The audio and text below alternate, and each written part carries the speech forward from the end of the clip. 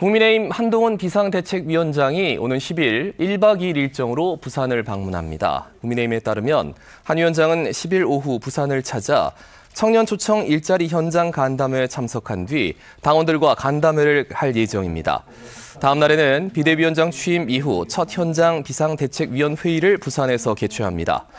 이번 부산 방문에서 한 위원장은 가덕도 신공항 지원 문제와 글로벌 국제 허브 도시 특별법 제정안 추진 등을 논의할 것으로 예상됩니다.